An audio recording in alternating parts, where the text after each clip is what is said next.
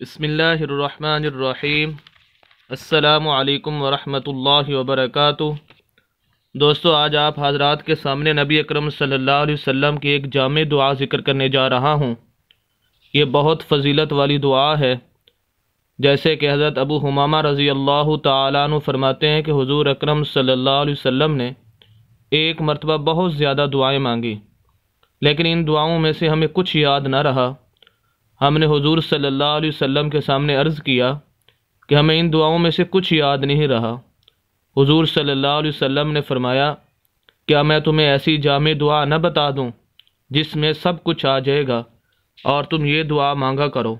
اور وہ دعا یہ ہے، اللہم انا نسألک من خیری ما سأل، ما سألک منہ عبدک ونبیک سیدنا محمد صلی اللہ علیہ وسلم.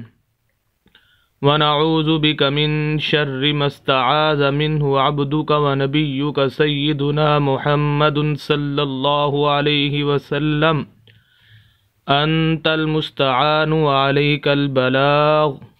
ولا حول ولا قوة إلا بالله العلي العظيم اس کے اندر یہی کہا جا رہا ہے، اس کا مفہوم یہ ہے کہ اللہ، ہم تجھ سے وہ سب بھلائیں اور خیریں مانگتے ہیں جو تیرے محبوب نبی اکرم صلی اللہ علیہ وسلم نے مانگی۔ اور ان تمام برائیوں سے، ان تمام شرور سے پناہ مانگتے ہیں جو تیرے نبی اکرم صلی اللہ علیہ وسلم نے مانگی۔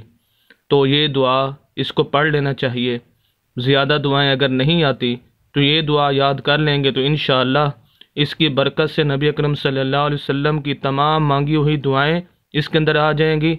اور جن امور سے، جن باتوں سے نبی اکرم صلی اللہ علیہ وسلم نے پناہ مانگی ہے، وہ سب کی سب اس کے اندر آ جائیں گی۔ اس وجہ سے اس دعا کا نام جامع دعا ہے۔